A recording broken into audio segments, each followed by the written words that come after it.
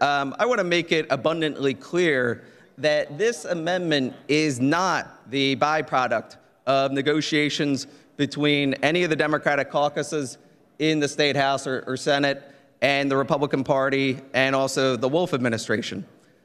This amendment is also completely unacceptable because it is a de facto prohibition on the vital drop boxes that our counties want to have.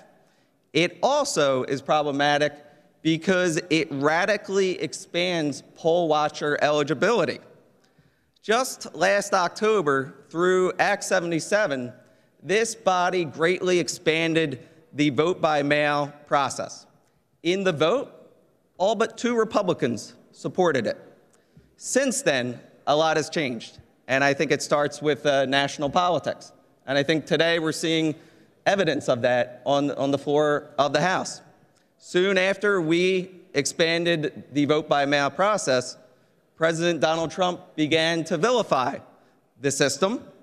And just recently, in the last month or two, he and his administration have begun efforts to defund the Postal Service and also discredit it. Drop boxes are so vital because ultimately, for this election, we do not know what the USPS will be capable of. The drop boxes are our insurance, our security, that we can have the expanded vote by mail process that Act 77 guaranteed. Furthermore, this bill is very problematic because it greatly expands the eligibility to be a poll watcher. Under this bill as written, someone from Crawford County could come all the way to Philadelphia and be a poll watcher. I find that problematic. Um, I can't help but think of what's going on in our country today. And I think it's incumbent upon us here to make sure that we do everything we can to make sure that there are no disturbances at polling places, whether in Philadelphia, Pittsburgh, or throughout the country.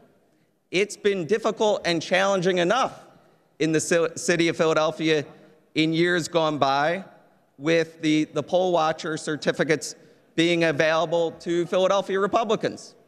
Now, this bill would expand it to anyone from the state of Pennsylvania. And due to the current climate in our country, I think it is wrong and dangerous. And I hope all members oppose this amendment. Thank you, Mr. Speaker.